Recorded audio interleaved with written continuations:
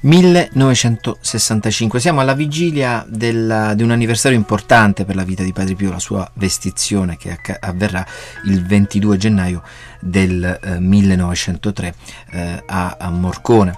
È una giornata importante questa. Come la trascorse eh, a San Giovanni Rotondo, ma tantissimi anni dopo? In particolar modo ce lo racconta la cronistoria del convento, il 21 gennaio del 1965, nella cella numero 1, prima di addormentarsi, ore 18.30. Padre Pio nel ricevere la benedizione dal padre guardiano, ovvero padre Carmeno da San, eh, da San Giovanni Ingaldo, e gli auguri, infatti per la vestizione di Padre Pio, con la buonanotte da parte dei confratelli, ha chiesto a tutti una preghiera, l'aiuto nel ringraziare il Signore del grande dono della vocazione religiosa, nel chiedere perdono per la sua grande ingratitudine e in corrispondenza alle grazie del, del Signore.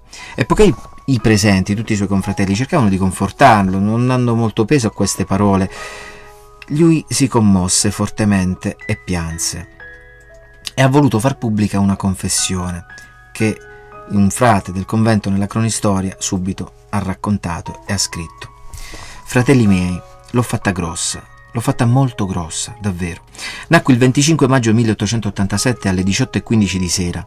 Ebbi la grazia di ricevere il battesimo dopo 14 ore, e cioè alle ore 8 del giorno successivo, 26 maggio.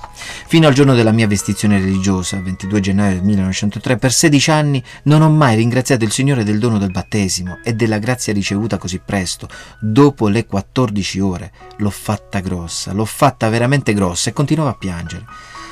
Continuava a piangere in dirotto tra il silenzio, la confusione, l'ammirazione e l'edificazione anche dei confratelli che erano presenti, finché calmatosi, rasserenatosi, si addormentò placidamente.